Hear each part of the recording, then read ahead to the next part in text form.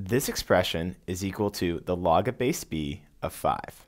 Great thinking if you got this answer.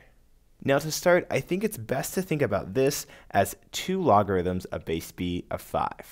If I write this line all out, I see I have log base b of 2 plus log base b of 5 plus log base b of 5 minus log base b of 10. And notice that there are two log base b's of 5 here. Now I'm ready to apply my properties of logarithms. I know when I add two logarithms together that have the same base, I can really just multiply these numbers together. So I'll have log base b of 2 times 5. I'm going to do this one more time. I have another addition here, so I can multiply these numbers with this number. So we have log base b of 2 times 5 times 5 minus log base b of 10. Now when we subtract logarithms, we take this number and divide it by this number.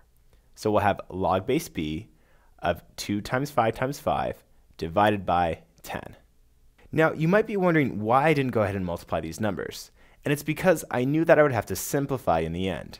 So I can just see that 2 times 5 equals 10, and that reduces with another 10 in the denominator. These simplify to 1. And this is how we get our final result of log base b of 5.